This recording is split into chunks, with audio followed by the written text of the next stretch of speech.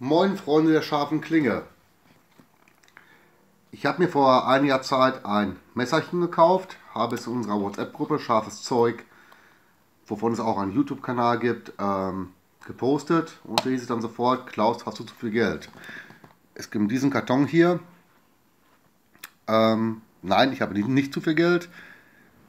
Hm, es ist ein Klon, sage ich von vornherein. Mich hat einfach mal interessiert, wie gut sind diese China-Klone. Und das habe ich halt gebraucht bei eBay gekauft. So. Das ist das gute Stück hier.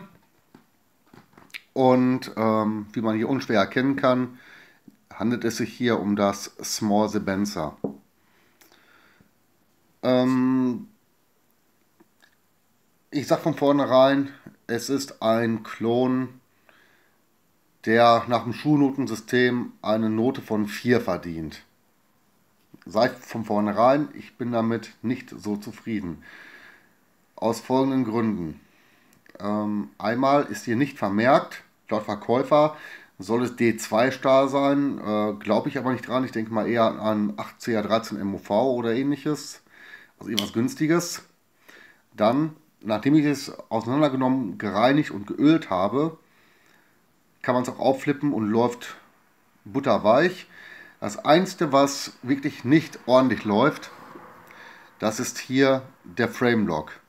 Das heißt, wenn man es hier so aufschleudert wie ich gerade, hat man jetzt vielleicht gehört, Entschuldigung, dann hört man, dass es sich verhakt.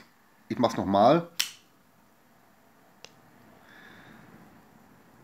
Es kann sich vielleicht noch einspielen, weil es wirklich in einem neuwertigen Zustand kam oder auch nicht. Ich kann es nicht sagen.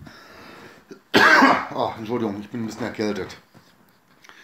So, zu den technischen Daten. Gewicht kann ich euch nicht zu sagen, weil ich habe keine Waage.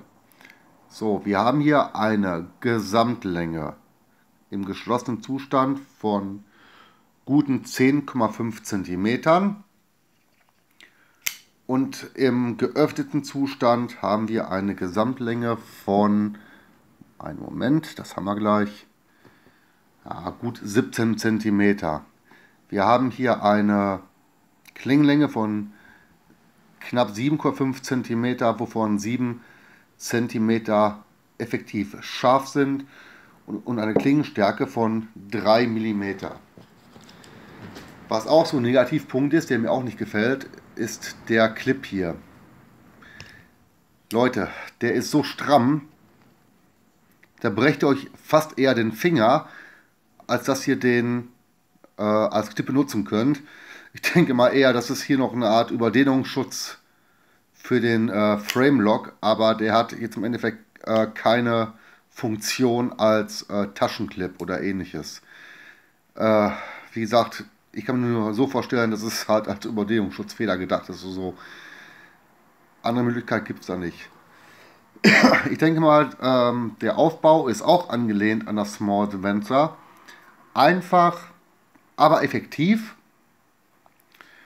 Ähm, und wie gesagt, die Herkunft des Designs kann aber nicht geleugnet werden.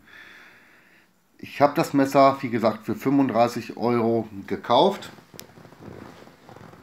Aber Leute, wenn einer einen äh, Chris Reeve haben will, beißt in den sauren Apfel und kauft euch, oh, nochmal Entschuldigung, das Original oder äh, als Alternative, auch wenn viele äh, diese China-Messer nicht mehr mögen, ist halt hier das Sanremo 910 plus Lent oder wie es heißt, ähm, ist, wäre zwar hat das Large Sebenza als Vorbild, kostet ungefähr das gleiche, habt ihr aber was wesentlich besseres und ähm, ich sag mal, mh, mm, dann lieber so eins hier, anstatt hier wirklich so ein Plagiat. Gefällt mir absolut nicht. Schreibt mir mal eure Meinungen und ähm, Eindrücke von Klonen, die ihr in der Hand hattet. Mich würden zum Beispiel mal interessieren, was für Klone ihr in der Hand hattet und ob ihr da auch schon richtig schlechte Klone bei hattet. Zum Beispiel hatte ich ja das Kampfmesser äh, 1000 von der Bundeswehr. Das war, glaube ich, ein MFH-Klon, wenn ich mich ganz täusche, ich das nachgucken. Das hat ja der Heiko vom Kanal Scharfes Zeug schon mal reviewed. Ähm, optisch für die Vitrine ganz schön, aber als Gebrauchsmesser äh, absolut nicht zu gebrauchen. Ähnlich sehe ich es hiermit. Als Dekoartikel schön, aber als Messer zum Benutzen ist meine ehrliche persönliche Meinung eher weniger. Wie gesagt, denkt an die Kommentare, schildert mir mal eure Eindrücke von Klonen und ich bin gespannt auf eure Antworten.